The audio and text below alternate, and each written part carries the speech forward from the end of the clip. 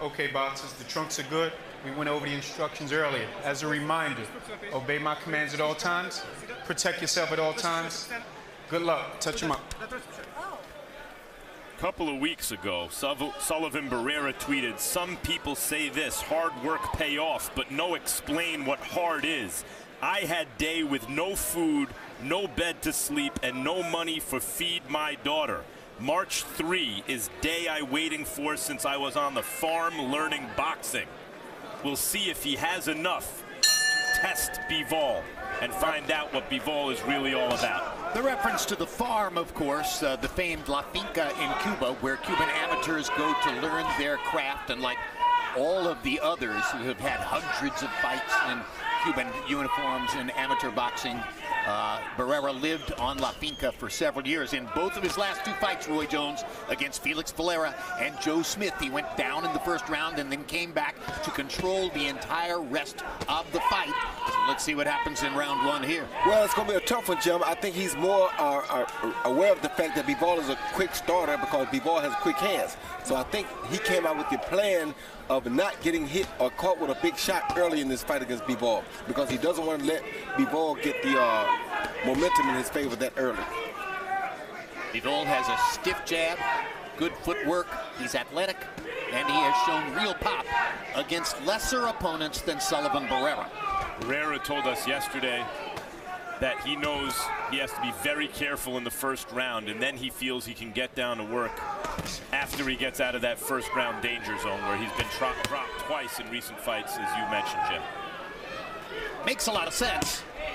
The only difference being Bivol is dangerous in two, three, four, five, just about every round they're going to fight. That's true, but Barrera is better in rounds two, three, four, five, and six uh, usually than he is the first round as well. So I can understand why he wants to avoid that early contact. And better than any opponent Bivol has seen to this point in his career. Right now, Bivol is getting chances to trade with Barrera, and that may play in his favor. Bivol has the quicker hands. Without a doubt. And, and I'd say also he's the bigger puncher. But Barrera, you know, just because you have the quicker hands and, the, and, you're the bigger puncher, doesn't mean there aren't things your opponent can do with timing and using his experience to take you into deeper water and finding out what happens when you're met with resistance. And he may be the bigger puncher, but something, something I sense that Barrera may have the heavier hands. Meaning like Barrera has some George Foreman type type punches. When he hits you, your whole body jolts.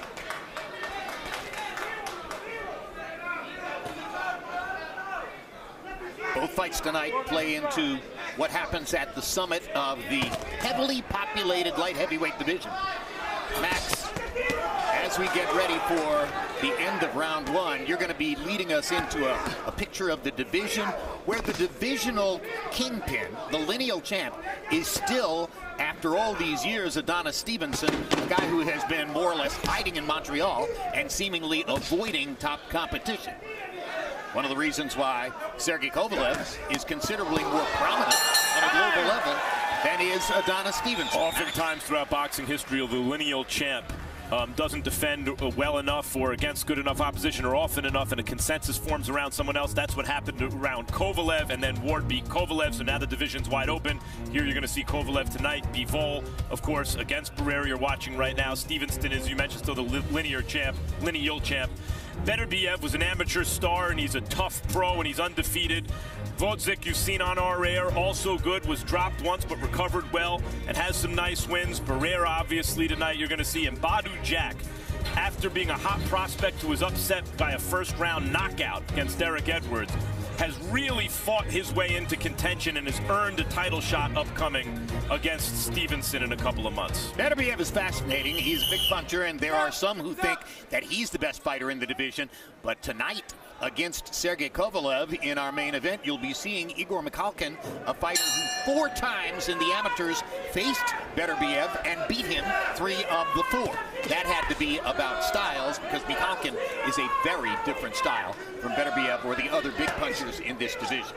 I'll tell you what, at the end of that last round, Bivol threw about a three or four punch combination countering uh, Sullivan's attack, and that was some really good stuff for an up-and-coming prospect or up-and-coming light heavyweight. That, that, right hand on the button, Roy, just looked like it wobbled B Barrera for a second. Just a little bit. Just a little bit. Bivol, in my view, has the potential to emerge as a sort of light heavyweight Gennady Golovkin, an athlete with real punching power in both hands. Cut over Bivol's right eye, it seems, right in the corner. Yep. What I, what I see different about him, though, Jim, is he he does more step back countering than does uh, Triple G. Triple G is more of a front foot fighter. Bivol is a middle, back, and front foot fighter. So I think he's a little bit more diverse than uh, Triple G. And now a sense of urgency may emerge for Bivol as blood is trickling from the cut just outside his right eye. Never been cut before, has Dimitri Bivol, at least according to the biographical material we're given. Bivol seems to be, I agree, Roy, not as much of a come forward, aggressive uh, power boxer puncher, but he is a boxer puncher who is looking constantly to apply his skills aggressively and offensively. That's what makes him fun to watch. And what makes Barrera fun to watch is he can fight you two or three different ways. He can box, he can counter, he can work behind his long jab. You know, we wanted questions answered about Bivol already. His left eye is bleeding. That's in a bad spot. And he's dealing with adversity for the first time on our air.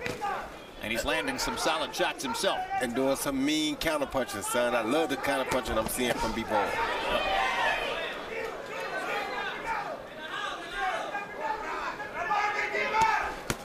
Two of the scheduled 12. Barrera has a title belt. Excuse me, Bivol has a title belt. Barrera had the choice of which title belt he wanted to try to fight for tonight. He chose to fight Bivol instead of Kovalev, despite the fact that the money was less. Guys, did anyone see what caused that cut? No, I, I did not.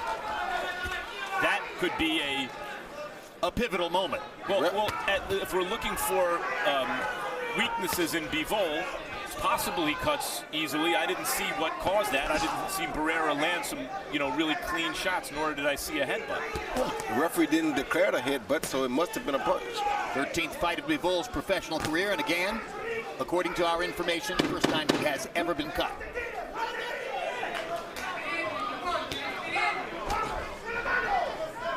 Spectacular amateur career for Bivol. 268 wins and 15 losses, so he has a deep backlog of experience.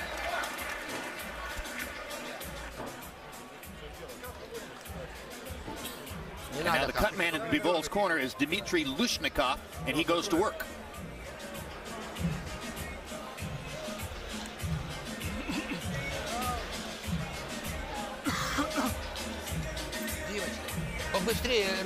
Dmitry, work faster. One, two, three combinations. Easy, easy. Hit him with the overhand right. Relax yourself. Jab him. Jab, jab, and then overhand right. Make it quick. Quick combination. Here we see exactly what caused the head, but the heads collided right there as both guys were coming up to throw a left hook. The heads landed first, and then Bivol's hook landed uh, partially, but that headbutt is definitely what caused that cut over that right eye. And that's good news for Bivol. If you're a Bivol fan if you are wondering how his skin holds up, anyone can be cut from a clash of heads like that.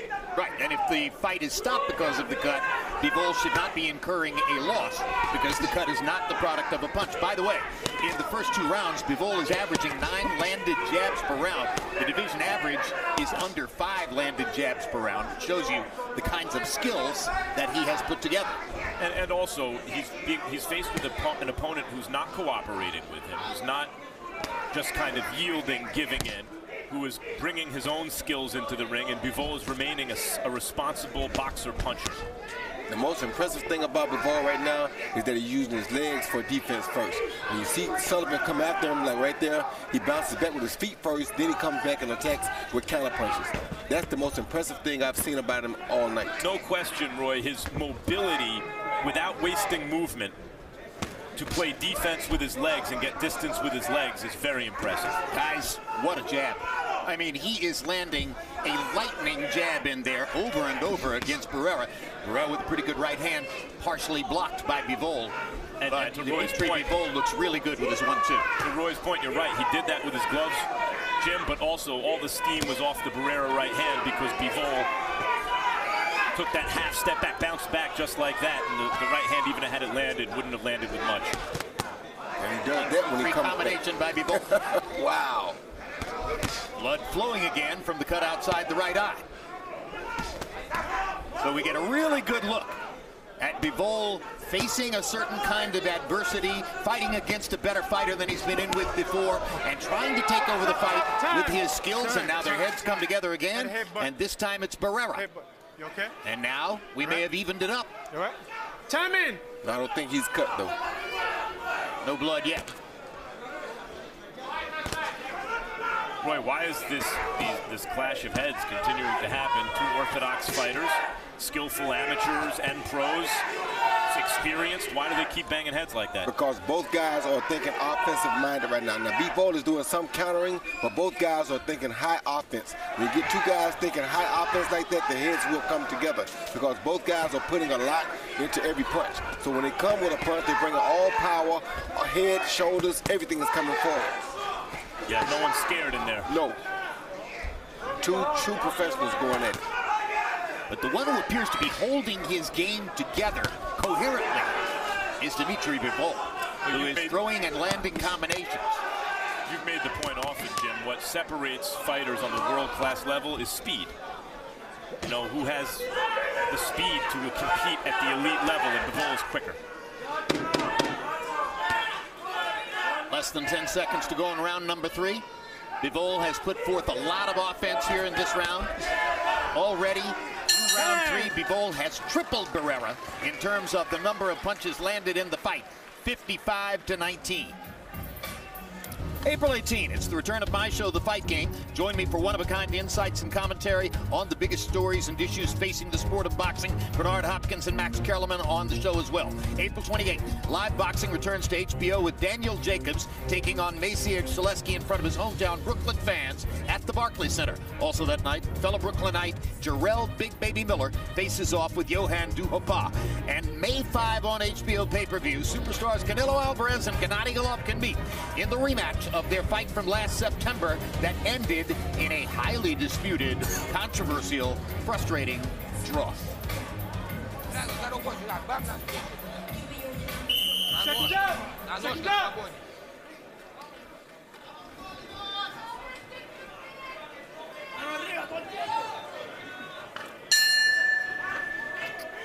Round four of the schedule 12. And scoring the fight for us, as always, our unofficial ringside scorer, Harold Lederman. Harold, how do you have the first three rounds of uh, Bivol and Barrera? okay, Jim. I got a 3 to nothing, 30 to 27, Dimitri Bivol.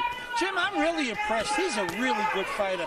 That left jab is something else. He's got a very good left jab. He throws a lot of good combinations. I mean, really good stuff. Look at that combination, you know? He lands both shots. He lands the left jab. He lands the straight right hand.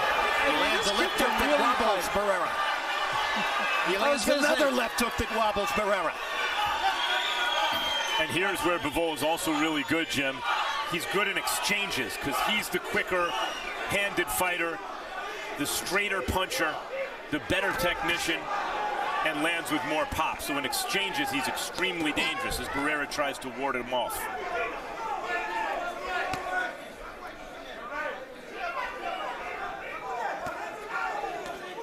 This has been a really good fight, but you feel like the whole time that Barrera is just one clean, I mean not Barrera, um, Bivol is one clean counter shot away from victory. And uh, just as that happens, it seems like Sullivan finds a way to neutralize it and get back in the fight. Yeah, Sullivan is showing a good job of, of being resolute, staying in there, sturdy, handling big punches when he needs to. The question is how can he win around? round? Against a guy who is out throwing him and outlanding him constantly as the fight. But there's another hard right hand by Bivol. And what you would like to see Sullivan do right here, because Bivol is so much quicker than him, is go on a body attack, but he's not doing that. He's going all head. If he went to the body some, he could make a difference in this fight because if you look at Bivol's arms, Bivol is starting to tire just a little bit, and Bivol has never had this type of opposition in front of him. So if Barrera was smart, he'd attack the body now and try to even this fight up some. But if he attacked the body, wouldn't he be running the risk, Roy, that Bivol, with his much faster hands, could counter him upstairs? He's running that risk anyway. See that? He's running that risk anyway, Jim. If you throw at his head, he's still like that right there. It doesn't matter. You're running that risk because you're out there. He's so much quicker that you're running the risk of getting hit with the, with the speed punches anyway. You may as well get something out of it. Yeah, as usual, and we, we see this a bit in boxing, it's just the way it works, because it's a one-on-one sport. When one fighter has a clear-cut advantage, is, is the superior, skillful, or athletic fighter, in this case, Bivol is both, the other guy has to do something that may hasten his demise, but at least gives him a chance to win. And that's what the body shot would do if he could do that. And you see the graphic that says Bivol has landed 28 jabs to this moment in the fight, and, and three for Sullivan Barrera. So Barrera's already lost the jabbing contest. Question is, can he somehow tilt the fight in his favor via counterpunching? And he's still trying.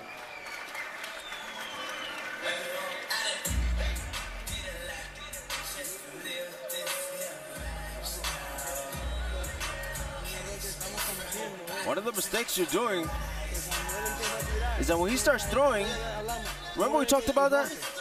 Break off to the side. Move, step, break it. You want to block everything.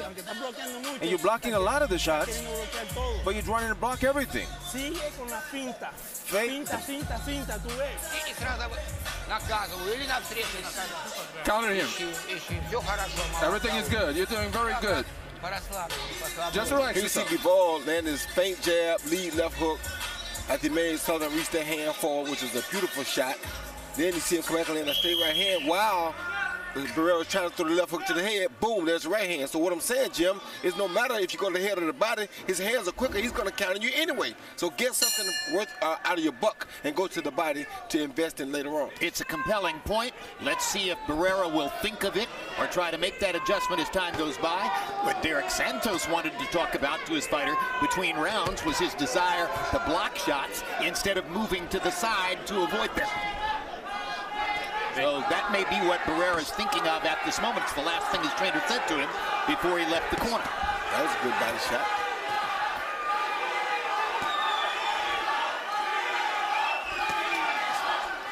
Straight right hand lead over the top by Dimitri Bivol. He lands the jab, he lands straight right hand leads, he lands his left hook. What I like about Bivol, besides the feet that I talked about earlier, is his explosiveness too. When he punches, he explodes with every punch when he when he thinks he has an opening. He doesn't wait, he doesn't walk it to you. He throws it quick and it's over with. Like that. He said boom, boom, boom, and it's over with. No wasted time. Wasted time. Done a pretty good job inhibiting the bleeding over the right eye of Dimitri Bivol after heads clashed in the first round. There's just a little seepage of blood at this moment, but by and large, the cut has been under control. And as you saw, their heads came together again later in the fight. And uh, a butt that Barrera got the worst of, but not enough to draw blood.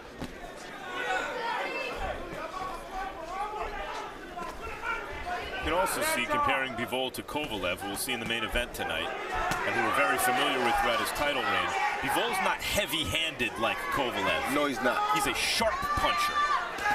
But so far, this performance is bad news for the light heavyweight division because Bivol has had to, you know, taste his own blood. It's been in a position to obscure his vision. He's in with a determined fighter. Barrera has conceded nothing here, even psychologically.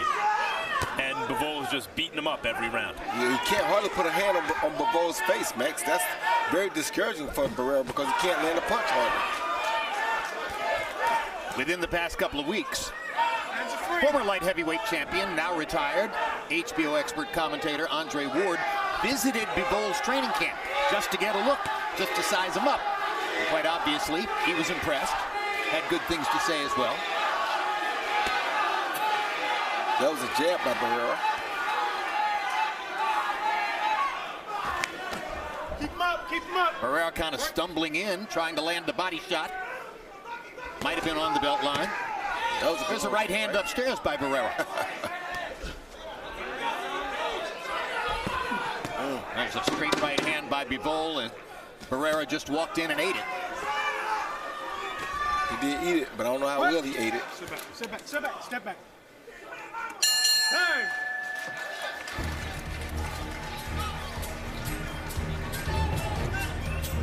Sergey Kovalev most recently fought here in this room with a knockout victory over Anatoly Shabranskyy in November. A lot of people derided the quality of the victory, saying, oh, well, Shabranskyy was totally made to order for him and walked right into him. Tonight, he'll be facing an entirely different style. Kovalev, as you know, from Chelyabinsk, Russia, one of the poorest cities in all of Russia, had an extremely difficult life growing up and has withstood a lot of hardship and difficulty to get to where he is. He was uh, steamrolling through the division, had a long knockout string, was 29 or 30 0 1 uh, before losing back-to-back -back fights to Andre Ward, including the stoppage on body shots in the second of their two meetings against each other. Through round five, Barrera landing six punches per round. In his last five fights, he was averaging 16 punches landed per round. So obviously he's having a harder time mounting offense and landing punches against Dimitri Bivol than was the case against all of his other opponents, like Joe Smith, like Felix Valera. None of those guys were nearly as quick-footed nor quick-handed as this guy Bivol is, Jim. Right. It made it a lot easier for him to land punches on guys who are sitting ducks or steal targets. When you fight a guy like Bivol who can move, who uses his feet to gauge his distance very well, who also has quick hands along with that, it makes it very difficult to make contact with him. The, the, the, the judgment of distance is maybe one of the most underrated skills in boxing. Vasily Lomachenko right now, I think, is the best example of a guy who understands distance at every moment of the fight extremely well. But Bivol, you see, has a very good understanding of distance and how to use it to his advantage. Well, Lomachenko's answer to distance is angles. You know, he may he may sometimes be within your punching range, but he's not in a position where you can hit him. He's stepping to one side or the other, stepping around you. And of course, he frustrates his opponents so much that ultimately they quit on their stools.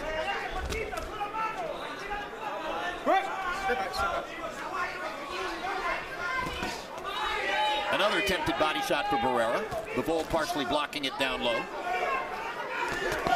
Good body shot. Now this time Barrera gets the right hand through to the body. And now there's a hook to the head because of the body shots. You feel me? So Barrera finding more offensive answers now as round six progresses.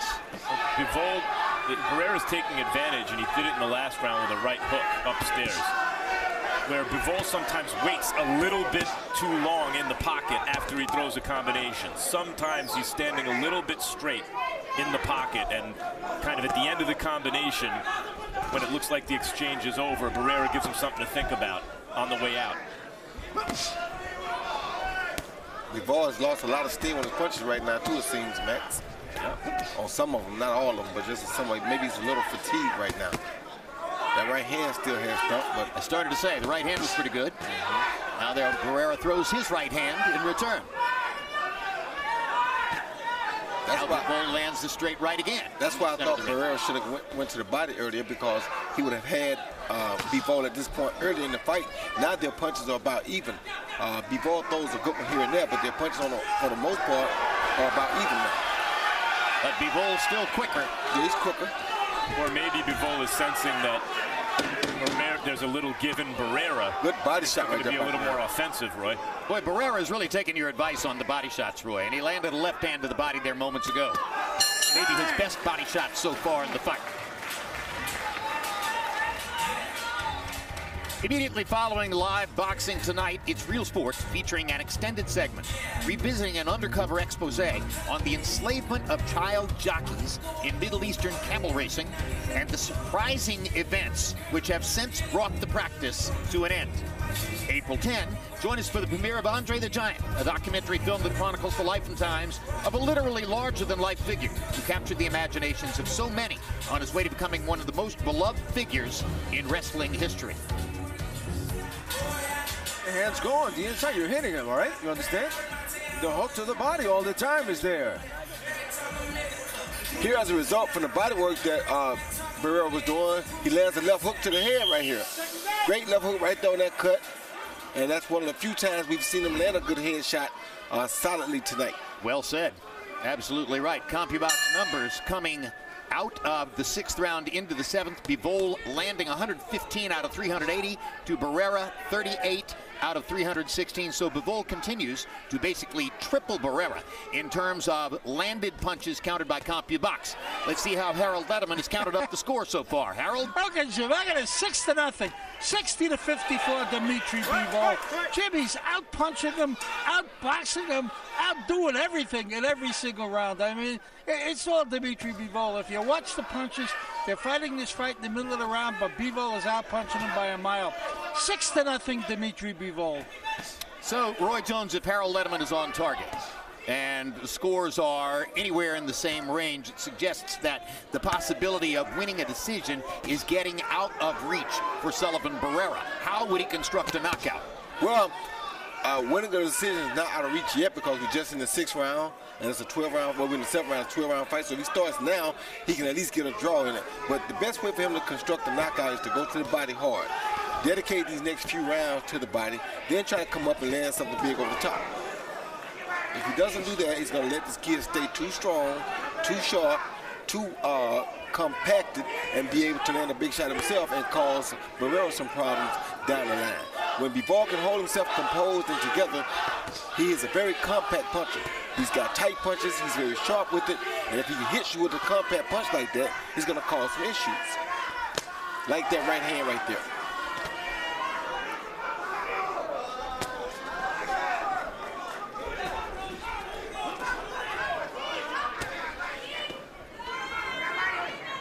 Bivol's jab continues commanding, quick, occasionally knocking Barrera back. There's another right hand for Bivol.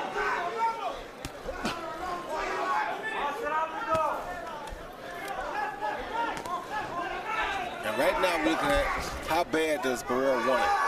Because if he wants it bad enough, he has a chance here. But if he doesn't want it bad enough, Bivol will walk away with it right here. Oh, good shot. Right hand shot by Bivol. Barrera walked into it. Still going forward, trying to get into position. Left hook lands for Bivol. And then the feet got him out of position to be countered. What Barrera's done so far is put Bivol in a fight at least. Bivol hasn't had a fight like this yet, where the day, you know, the next day, Roy, he wakes up and knows he was in a real fight. No, they've all been walkovers by and large. And that's why I said that right now, he can tell us how bad he really wants it, because he still can win it if he wants. We've never seen Bivol at this point in a fight. Well, if we thought Bivol might have been slowing down a little bit in the last round, I want to beg to differ based on what I saw in the last 30 it, seconds there. There's swelling over Bivol's left eye that looks like a little golf ball is forming there.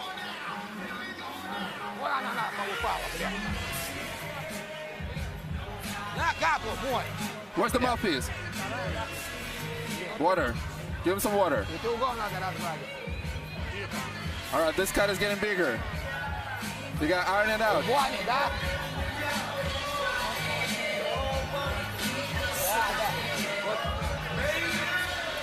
You see the ice being applied over the left eye, the area that Max Kellerman identified. See Bivol land a jab, followed by a clean jab, followed by a good straight right hand right over the top of Barrera's jab. First couple rounds, Jim, that would have caused some issues. Right now, because of the fatigue factor, Barrera take, took them very well.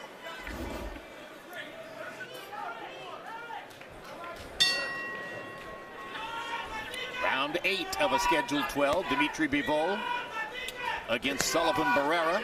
Russia against Cuba. Light heavyweight division. Winner of this fight, hoping to get into position to fight perhaps Sergey Kovalev if Kovalev can win in his assignment in the main event against Igor Mikhalkin. That was a good try for a good right hand to the Hard right hand to the body by Dimitri Bivol. Good try to counter the right over the top of the jab over the top by Bivol earlier. He missed it, but it was a great try. Hematoma over the left eye. Like it's it, it's not like a Rahman against Holyfield, Jim, but it's that same kind of swelling. Could be from that second headbutt we saw, man. Yes, I would. it looks like it was caused by a headbutt.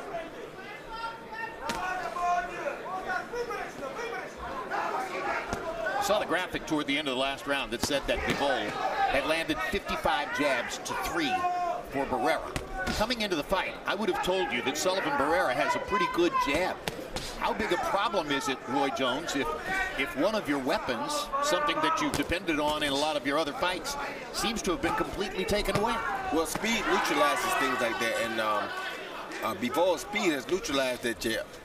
Not only that, but Bivol also keeps his hands up very high, and he has quick hands. So usually when a guy has quick hands and keeps his hands high like that, it's very difficult to land a jab on him, especially when you're a heavy-handed jabber like Sullivan Barrera is. In the eighth. There are four more rounds to go after this. Max Kellerman correct in saying that the, the swelling that's emerging over the left eye of Bivol begins to look a little bit like a golf ball. Yes, it's not quite Hasim Rahman uh, against Evander Holyfield. He doesn't look like a hammerhead shark yet. Right. But there's, you know, and, and by the way, he's winning every round, Bivol, and he's comfortably ahead, obviously, and he's looking good. So he's not being tested by punches so much, but still, cut over the right eye, swelling on the left side of the forehead, deep in a fight against an experienced guy who hasn't given up. He is being tested physically in a way. And all, all that means if he walks away with a win, useful experience, right? Of course. Watch your head, but And we're also seeing that he responds to, to adversity, a type of Time in. adversity, calmly so far. And another headbutt there. And Harvey Dock, with his body language, suggested that the fighter who got the worst of that headbutt was Sullivan Barrera. But it can't feel good for Bivol under any circumstances with a cut over one eye and a knot over the other. Well, when you won every round, Jim, it can't feel too bad either, though. The hand speed is remarkable. I mean, you just don't see many 175-pound fighters who can put punches together like this with the velocity and the style and the effect that Dmitry Bivol is creating in there. The velocity is right, Jim. It's- He's using it to create power. And he was stepping with Barrera there. He senses something in Barrera weakening.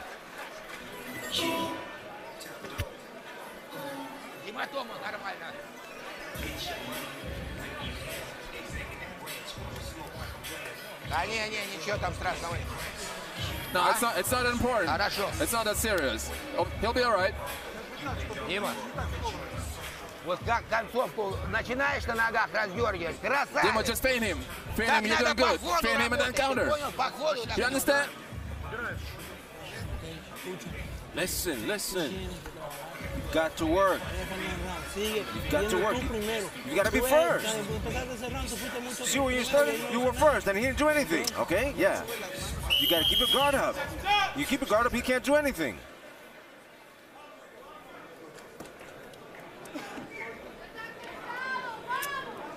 Time, time. Time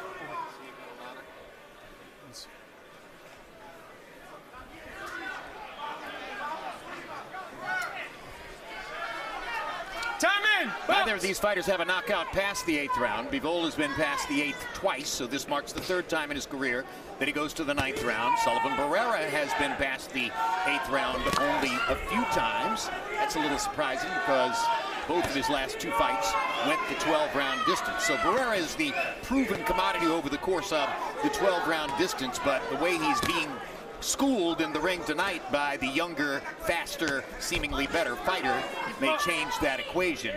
Bivol, uh, again, tripling Barrera in terms of landed punches and humiliating his jab.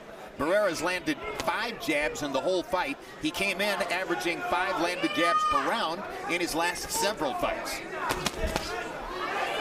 I like that, Jim. Humiliating the jab. In other words, he stopped using it because it's being embarrassed in a way. Exactly. Keep 'em up, keep He 'em up, realized keep it 'em up, wasn't up. effective in any way.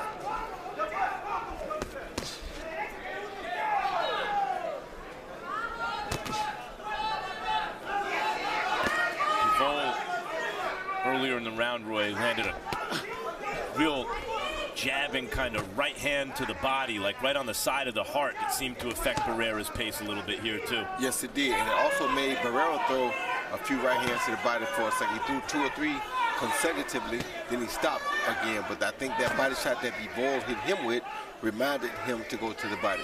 This is the first time in the fight that I think I've sensed that Bivol is trying to get a little bit of rest in a round. He has slowed his own pace just a little bit here and isn't initiating contact as often as he appears to try to get just a little breather in round nine coming toward the finish. Barrera landed a good right hand right there. To which Bivol had to react. Oh. And now he comes back with a hard right hand of his own. Throws it again. Throws it again. On a stop my right hand? You better, or I'm going to keep coming.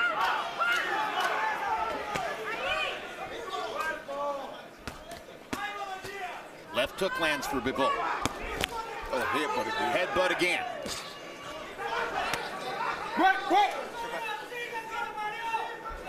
Bivol looking over Barrera's shoulder at the big screen monitor in the corner of the room. Might not want to do that. Don't want to look at the blood and the knot. They both will realize tomorrow morning that they were in a fight last night. Good job by Bivol. By the way, even if you're thinking, well, yeah, but Barrera's done his damage with his head. But against Bivol, who can finish you quickly, you got to stick around this long to be able to do that damage with your head. Barrera's, you know, ring savvy has kept him, you know, upright in this fight through three quarters of well, it. Bivol came out so sharp, so aggressive, so quick with both the left and the right hand in the first few rounds that Time! no other opponent he's faced would have stayed in for those three rounds. Would have been over. And there's Sergey Kovalev as his hands are being wrapped and now gloved.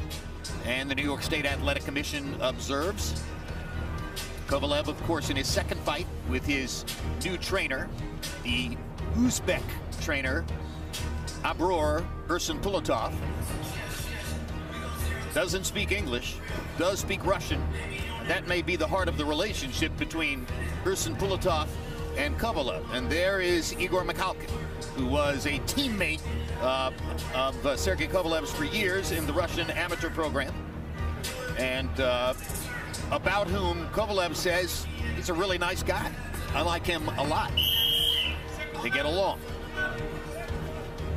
Barrera has landed in single digits in all nine rounds against Bivol. En route to CompuBox numbers, which entering the 10th round say Bivol is 184 out of 593 to Barrera 57 out of 469. Harold Lederman, how do you have this scored three quarters of the way through?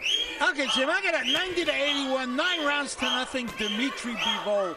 Jimmy's just outboxing him. The fight's been, you know, basically fought in the middle of the round, but Bivol's outboxing him, and, you know, you sort of punch that numbers, which are enormous in favor of Bivol. Keeps landing that left jab and that straight right hand in the combinations.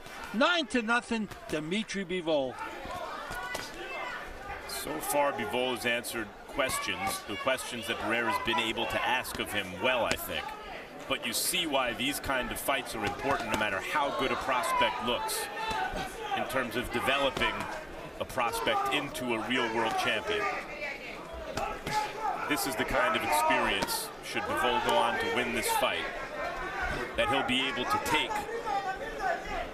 to, to yet another level of opponent if and when that opponent should push Bivol physically and damage him, and Bivol, you know, has to deal with that in the late rounds of a fight. So we can see, Roy Jones, that Bivol's physical qualities, the speed, the quickness, the punching power, seemingly with both hands, are going to be a problem for just about anybody in the division when he goes back into the gym.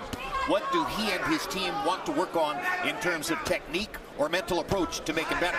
Just mental approach about staying strong and staying sharp, as sharp as he was in round one, in round eight through 12. Uh, right now, as you see, in round six, seven, and eight, he slowed just a little, wasn't quite as sharp and um, precise as he was in rounds one through six. So you got to learn how to take that same precision and sharpness with you throughout the whole fight. If you become a deadly puncher from round one to round 12, that makes you very difficult to deal with. So that's the one thing, if I were him, uh, that I would go home and work on.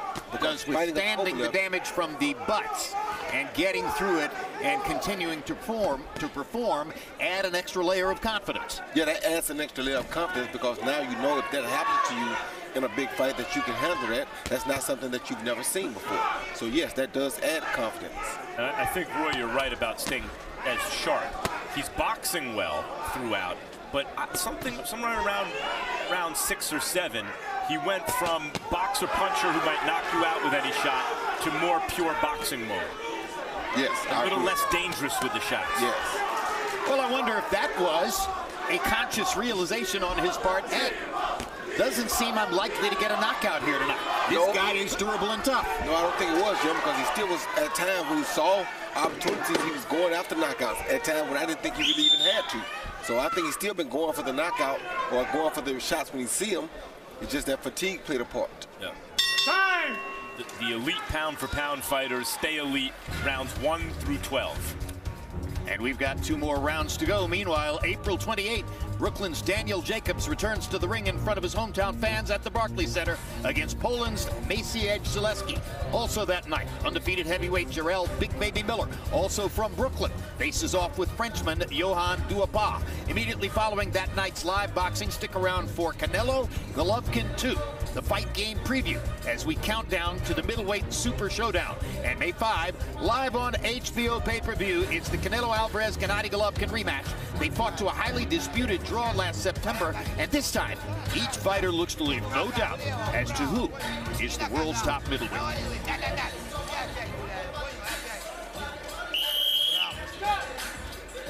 Seconds out.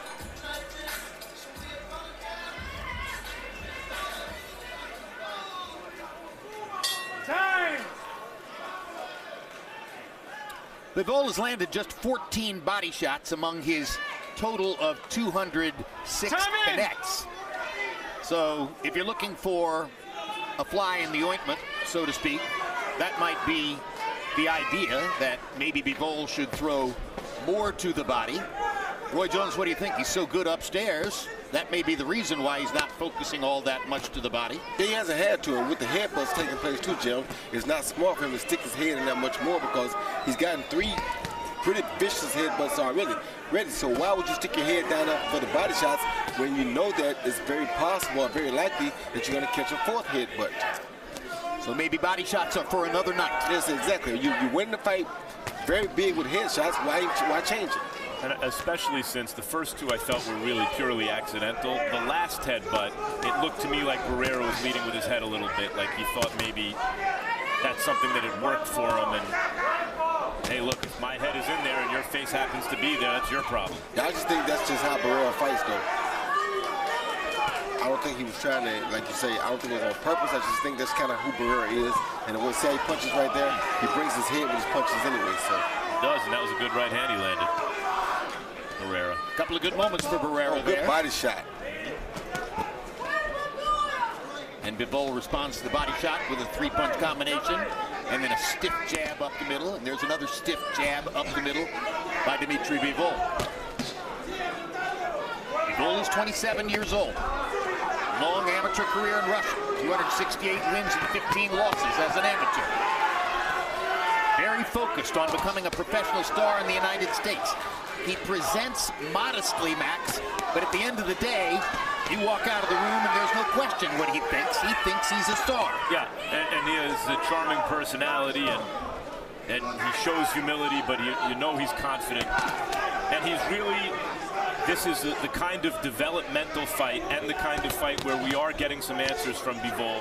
He looks like the real deal the way he's handled this so far. Now, this was a really good test for him. He would have been more impressive to many in obvious ways had he just blown Barrera out. But we'd have, we'd know less about him. He was immodest enough to tell Andre Ward when Ward visited his training camp, I'm surprised you retired. I was focusing on what it was going to take to beat you.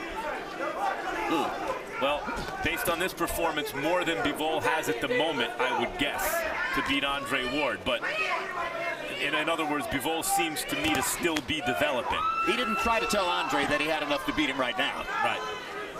But, you know, the way he's looked until now, you thought maybe he was already all the way there. And this fight is giving us some answers. There's still room for improvement, but Oh, yeah, good body shot. What a body shot by Bivol. Yes. Perfectly timed, right in the belly. And Sullivan Barrera is heaving just a bit as he walks back to his corner. Yeah, he caught him coming into that one, Jim. That was pretty bad. Хорошо. Ну смотри, надо больше прихватывать. Сейчас чуть-чуть отдал инициативу. Very туда. good, very good. Самому прихватывать. You got to do a little better.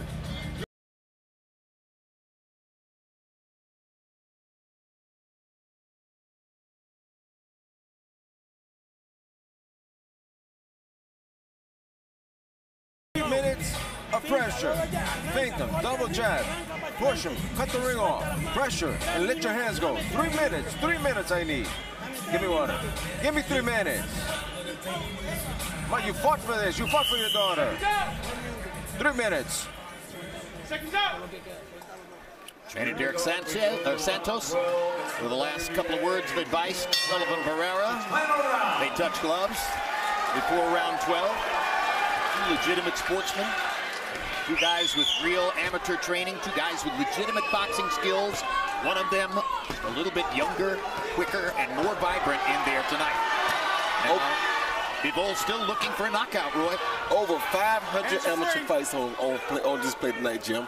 Over 500, maybe over 600. Listen, you know for how many years you turn on Olympic boxing or amateur boxing, and in the international level you notice it's Cubans and Eastern Europeans, and when is that going to show up at the highest level of the pros? Folks, here it is. Right now. Kovalev, Bivol, Barrera, Beterbiev. Stop me when you get to an American. Asked Bivol in the meeting, I said, you know, we always talk here in the United States about how spectacular the Cuban program is and how well-trained they all are as amateurs.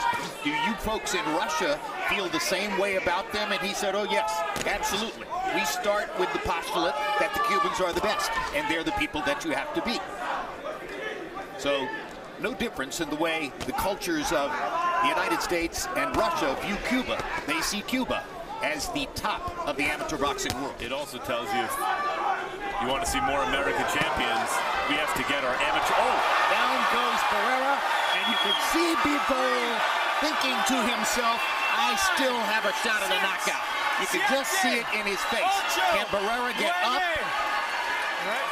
Is Harvey Dock going to let him continue? No. It's a stoppage, and Bivol gets the TKO in round number 12. Jim, you identified just now what was so impressive about that. Roy and I were talking earlier about he went at how Bivol seemed to go into boxer mode.